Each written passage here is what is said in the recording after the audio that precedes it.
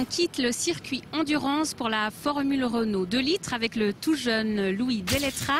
Vous avez réussi une magnifique euh, saison 2014, vice-champion d'Europe, euh, satisfait? Oui, très satisfait. On a eu une très bonne saison, vice-champion d'Europe, donc euh, c'était pas forcément attendu. Et on est très très heureux après ce résultat et on espère continuer dans cette voie. Objectif pour 2015, passer à la vitesse supérieure en abordant les championnats du monde. Comment euh, vous voyez ça? Un peu d'appréhension? Un peu d'appréhension mais aussi beaucoup de préparation. Euh, après le titre de vice-champion, j'espère maintenant remporter le championnat d'Europe et faire de même avec le championnat du monde. La compétition sera forcément un peu plus rude, le niveau un peu plus relevé. Comment euh, vous vous préparez pour ça? Beaucoup d'entraînement physique pendant l'hiver, beaucoup de préparation avec l'équipe, essayer de trouver des nouveaux réglages, des possibilités pendant les essais.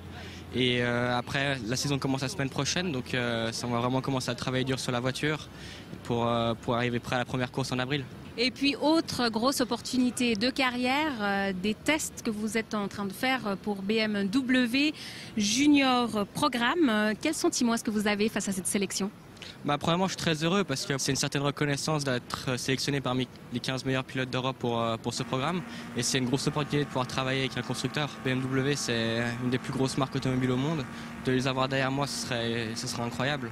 Et pour cette saison 2015, vous vous attaquez au championnat d'Europe, au championnat du monde. Ça rajoute des courses, de la logistique, de l'organisation. Comment vous faites pour concilier tout ça en plus de vos études?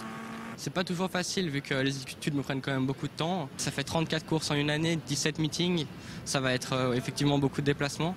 Mais euh, la logistique, c'est surtout l'équipe qui s'en occupe de déplacer les voitures, les camions, enfin tout le matériel. Et après, moi, j'ai plus qu'à être euh, reposé en forme pour arriver bien sur les meetings et donner mon maximum.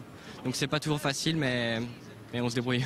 Puis vous avez aussi un gros soutien euh, de, de votre famille, de votre papa notamment. Oui, beaucoup. Mon papa faisait aussi les courses avant, donc euh, c'est aussi un avantage pour moi. Il peut me donner plusieurs conseils sur euh, non seulement dans la piste, mais aussi la préparation. Donc oui, c'est un gros avantage. Et je suis très heureux de pouvoir partager ça avec lui. Merci beaucoup Louis Delettra d'avoir été avec nous. Bonne suite de saison. Et pour euh, rappel, euh, les tests avec BMW se poursuivent donc euh, la semaine prochaine, en mars donc. Et puis le premier tour dans, dans le championnat d'Europe, c'est le 11 avril à Monza.